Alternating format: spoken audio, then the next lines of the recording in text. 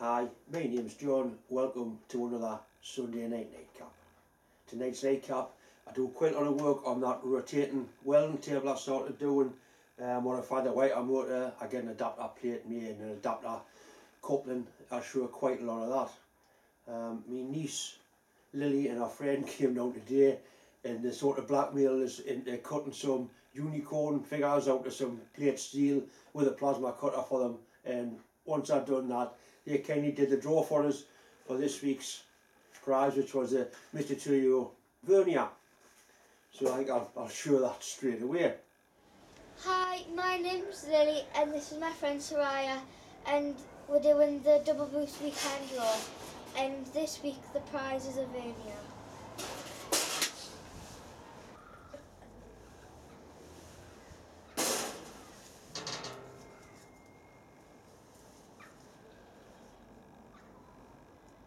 John B.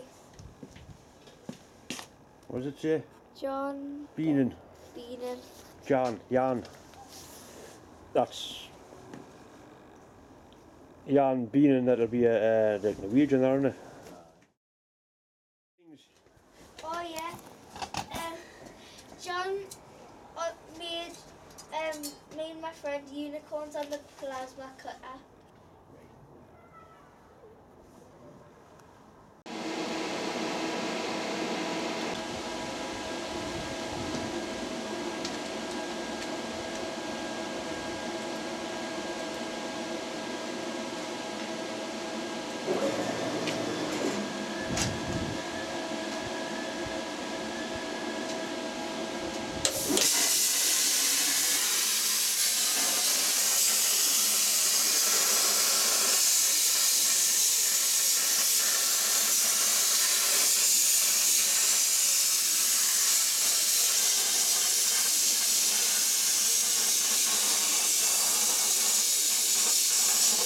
Can you guess what it is yet?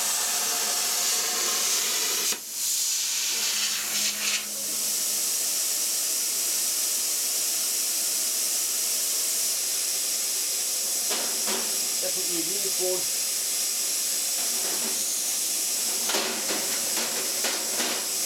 That should make a little, little girl very happy. There's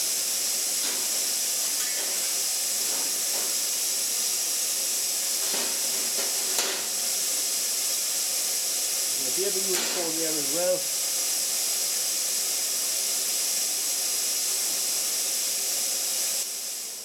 That was great, thanks very much for that. Uh, one thing I will mention, before they took the unicorns away, the real point on its on its horn on the front, I bent the end over so it wasn't a real a real sharp end. Because somebody's bound to comment on it, but I did bend the end over so the end was blunt and it was probably as safe as it, it could be made to be. I'm going to do another draw this week. I'm going to carry on doing draws as long as people keep sending us things to, to do draws with. Uh, this week's draw is going to be for another vernier. It's a vernier that I got given and it was a little bit rusted up. Uh, Bob's had it away and cleaning up. It's a vernier with difference. It's an actually it's an internal vernier for measuring bores. It does do external as well, but it's, I'll get a close up and show you how this works. It's a very nice bit of gear. Uh, that's what's going to be given away this week. As usual, if you want a chance of winning that, all you have to do is send me an email. That's my email up there. Email with your name, like your full name, like John Mills, not just John. Uh, your name goes into the bucket. If your name's pulled out, I'll post it off anywhere in the world, completely free of charge. As I've always said, it's just a, a way of me saying thanks for all the help I've had. I mean, I have got an internal vernier the same as this one. It's slightly better than this one. It's, it's a little bit longer, but that's going to be a real nice prize for somebody. And if you win this and you don't want it or you've got one, give it to somebody that needs it.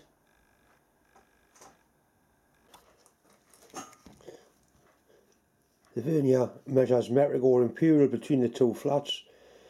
But these two rounded parts here, that's actually 250 thou thick, a quarter of an inch. And the thing is you can use it to measure an internal like that. It's also got a vernier adjuster on there so you can really get it to be a nice fit. Then you can even put a, a micrometer on there to get a outside reading using a little bit like a snap gauge I suppose anyway it's in real good condition very nicely cleaned up and sorted out by my friend Bob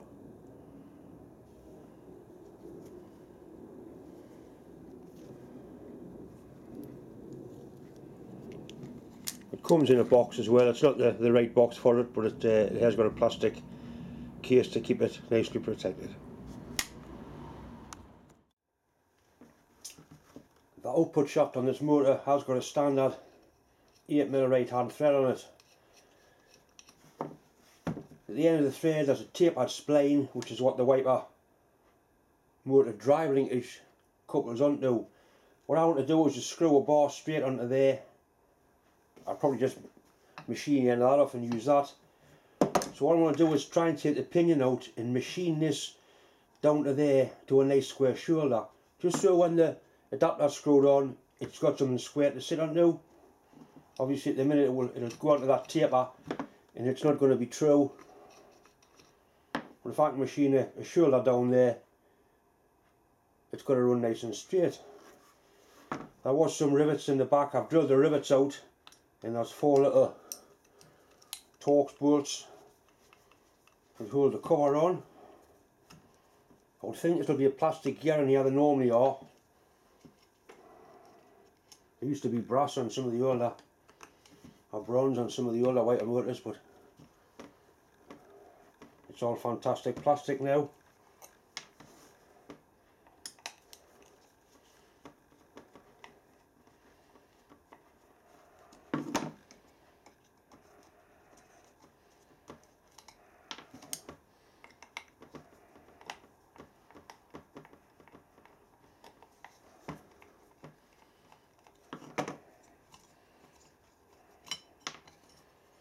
Right, that's the plastic gear. And the metal part here, that's actually the, the metal wiper track uh, for the intermittent wipe on the switch. Right, so basically, I need to carefully hold that in a 4 jaw chuck, clock this in, centre drill it and just machine that spline off there down to a nice square edge. I've managed to get the, the end of the spindle clocked in within sort of quarter of a thou. It looks like it's running nice and true. I haven't got a really tight hold on this, so I'm going to gently countersink it, put a live centre in, and I just want to machine off that little taper there to leave a nice square shoulder.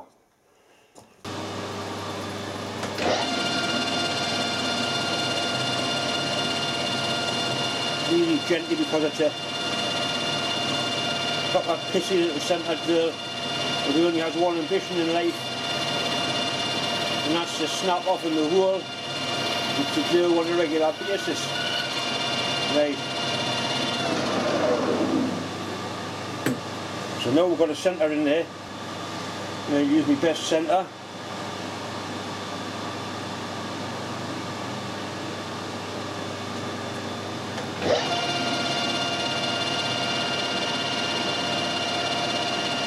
Gentle grip on it. I'm not sure how hard this is going to be, probably quite hard. I'll give it a try with this hardening tool, it's got a nice square edge on it.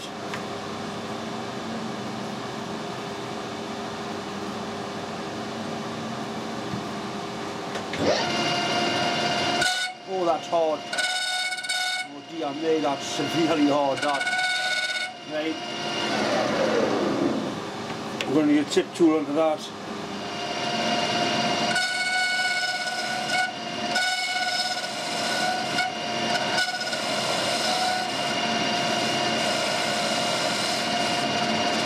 To be case hardened because it's quite soft once you get under the skin.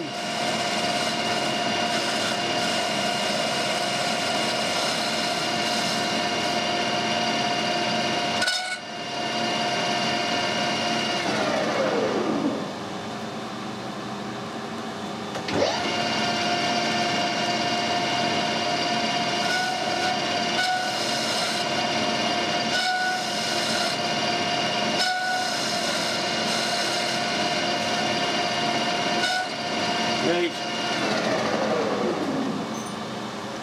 that metal's gone quite thin there but that's still more than enough to, to do what it's got to do. I'll just make sure I can get, get my nut screw right down there before I take it out of the chuck.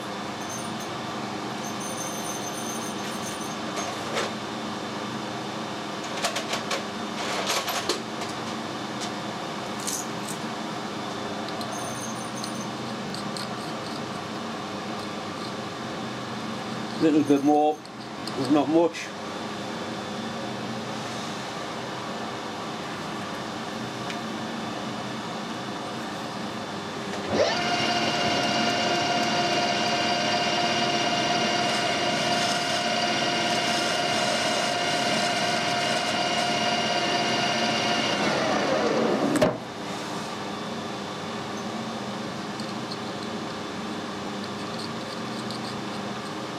Right, that's that's it. So now the piece of screw on, it'll go down into that nice square shoulder. It's just a little tiny rag on there.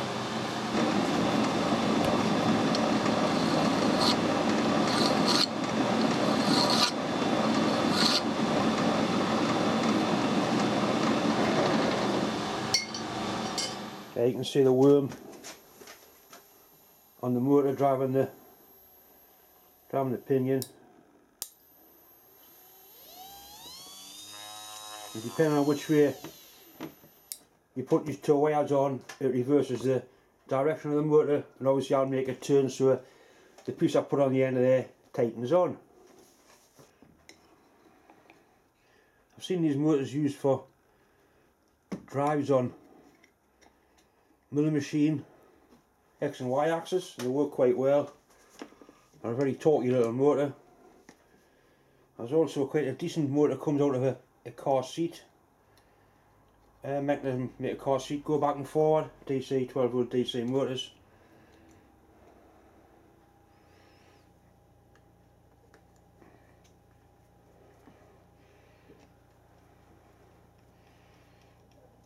This one actually says on there, it's got wrote on made in England. I don't know if that's a good thing or a bad thing anymore. This is not the best of used to be on this. It could be a lot worse.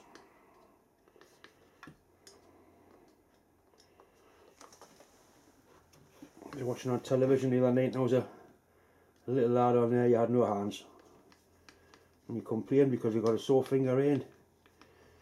I think really we've got a, a lot to be thankful for in some ways. There certainly always somebody worse off. Right, so that's the first little bit of the puzzle done.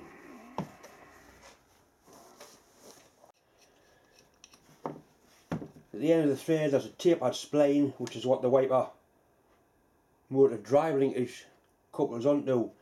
What I want to do is just screw a bar straight onto there. I'll probably just machine end of that off and use that. So what I want to do is try and take the pinion out and machine this down to there to a nice square shoulder. Just so when the adapter's screwed on, it's got something square to sit onto. Obviously at the minute it will, it'll go onto that taper and it's not going to be true. But if I can machine a, a shoulder down there, it's got to run nice and straight.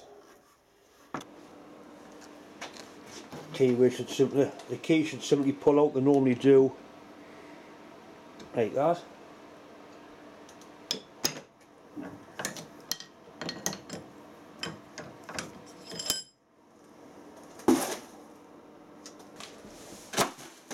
Knock the bearing off. That's